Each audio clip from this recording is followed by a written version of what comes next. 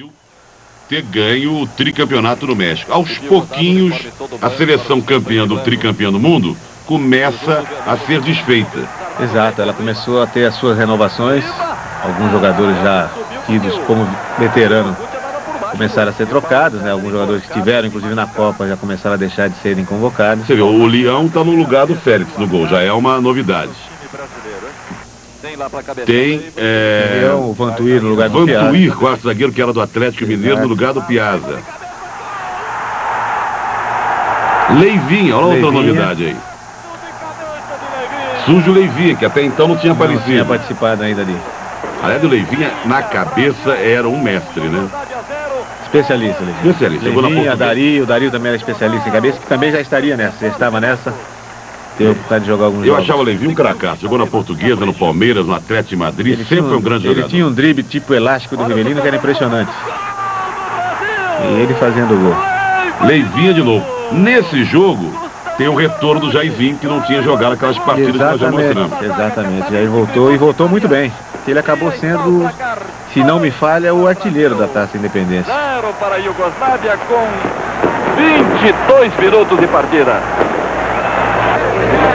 Jogo tranquilo, medido, consciente. Então, Zé Maria lá, fazendo aquela jogada típica que você fazia também, né? Zé? Passagem. Passar e ia na frente, né? Para o tiro final de Pô, quase você faz um Até golzinho aí. chutando ó. pra gol. É. É, diziam que eu não chutava muito em gol, mas às vezes acontecia. Você fez poucos gols na sua carreira.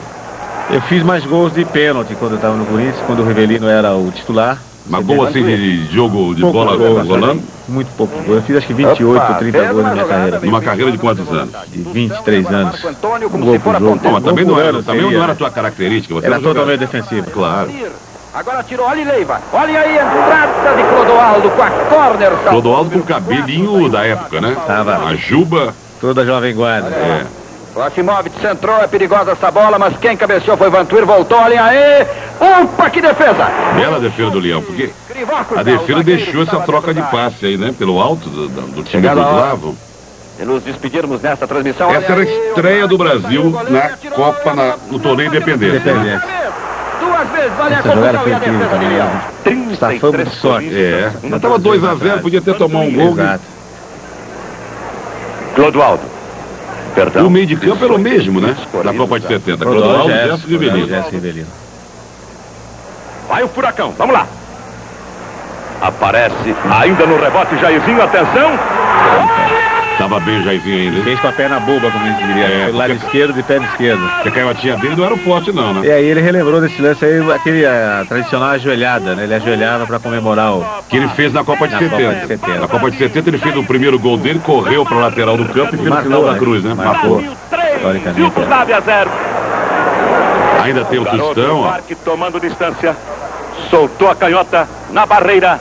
No rebote a pelota veio para Jerkovic. Atrasando Stepanovic.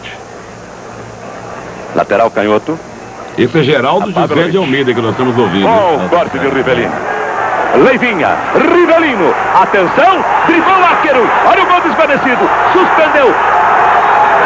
Bateu na trave o arqueiro. Essa bola não entrou, não? Não, bateu na trave e é isso, Uma jogada de- minha gente. De mestre.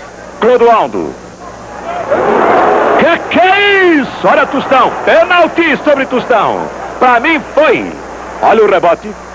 Rivelino. Terminada a peleja. Vitória brilhantíssima. Totalmente merecida dos canarinhos do Brasil frente à Iugoslávia por 3 gols a 0.